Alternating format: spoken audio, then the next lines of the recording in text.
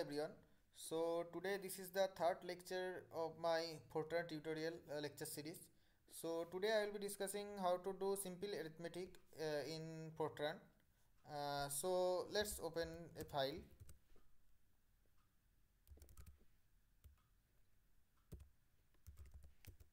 And now, now if you want to go in insert mode just type I. And then let's start my start our program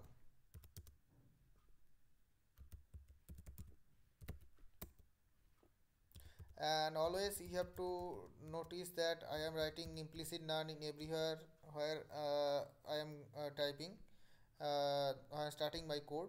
So you have to write implicit none whenever you are starting your code so that the Fortran will understand that you, uh, you so that you can make understand Fortran that don't assume any variable type. So I will assign by assign the variables by myself.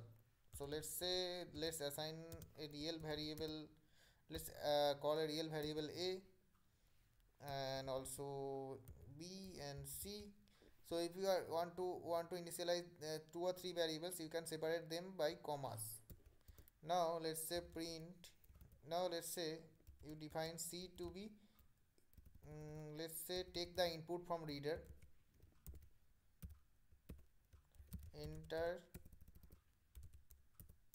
enter a and b okay.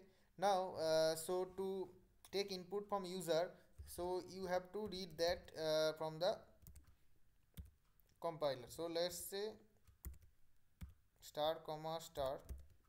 So your compiler should understand that you are you are uh, trying uh, to take input from user.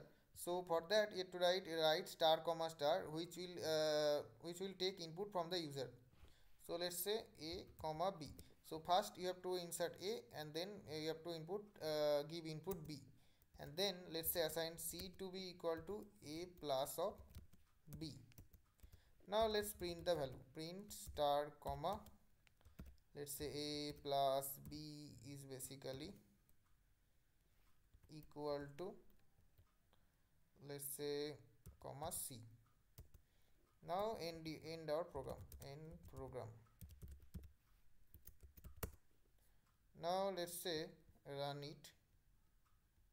Let's open a new tab and now gfortran ad.f90 dot slash error dot now you have to enter as you can see if i just uh, execute that by dot a dot out it just uh, is uh, the it is uh, trying to get the input from the user. So let's give some input let's say 2 and 3 so here is the addition of a plus b which is equal to 5 so this is the simplest program uh, uh, to uh, add, add to add two number. Now uh, let's say let's assign some other variable. Let's say d let's say e and f let's say. Now let's say d is basically equal to a minus of b and let's say e is basically equal to a by b. Sorry so this is mean uh, this is mean division. Okay.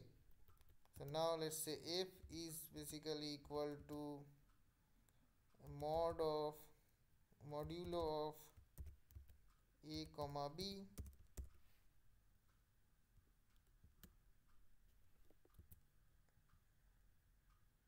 Okay. So it will uh, let's say one second. Let's say let's uh, just type mod of this thing it means it will give the uh, remainder from of a, uh, a divided by b. And then let's say let's uh, let's initialize another variable. Let's say g. So let's say g is basically equal to h star b. Now print one by one. Let's copy it.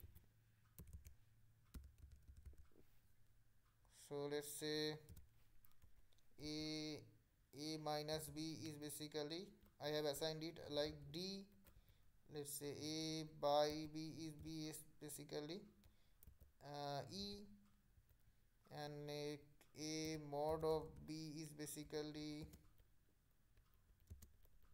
my F and A star means the multiplication. So multiplication is denoted by star which is basically G. Now just save this and now compile it sorry so here. Now g fortran array dot f90 dot slash a dot out. So let's give 3 let's give 5 um, and 3 so as you can see a plus b which is 5 plus 3 8 and then a minus b which is 2 a by b if you divide the thing it you will get uh, 5 by 3 which is 1.6666 and a mod b if you divide uh, 3 by if you divide 5 with 3 then the remainder is basically 2 and a star b is basically 15 so this is these are the simple type of uh, arithmetic thing you can do. Now one uh, also you can do that uh, let's say u let's uh, let's initialize the variable u. So u is basically let's say floor of a a by b let's say. So let's print this thing. Print star comma floor of a by b which is basically let's run this again.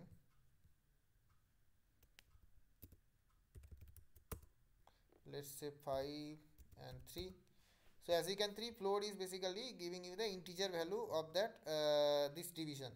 So uh, the integer value uh, the closest uh, the integer value which is the lowest one is 1 and if you type let's say ceiling then it will give the largest integer value.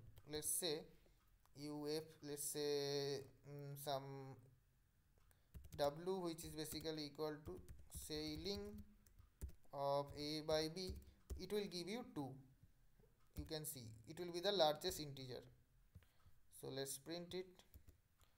Print star comma ceiling of a by b which is basically I have assigned this as w. So this is basically w. So let's save it. And then just clear the terminal and run the program again compile you have to compile it. So every time when you modify the code you have to compile it okay? So otherwise it will not uh, execute the new part. So it will give you the old output again and again. So 5 and 3 let's say. So as you can see so a plus b is 8 a minus b is 2 a by b is 1.666 and a mod b which is basically the remainder which is basically 2.00 and star b is basically 15 which is the multiplication and floor function is the lowest nearest integer which is basically 1 by this division. You can see that 1 is the lowest in lowest, lowest nearest integer and it is the largest nearest integer which is basically 2 so these are the some arithmetic operation and uh, in in fortran. So in my later lecture i will tell you about how to write a subroutine and how to write a function in the uh, in fortran so in that way that will be very helpful for you and i have also uploaded many lectures on gnuplot and also on uh, some also also some lectures on physics which i have, uh, have tried to code some physics problems uh, in the Fortran language. So after seeing this Fortran language, Fortran tutorial lectures, you can always go through them so that you can uh, you will uh, that will be very helpful for you to understand the physics also physics part of the uh, this uh, lecture series so thank you for watching this video. Uh, if you like the video please share it. And if you haven't subscribed to my channel please subscribe. Thank you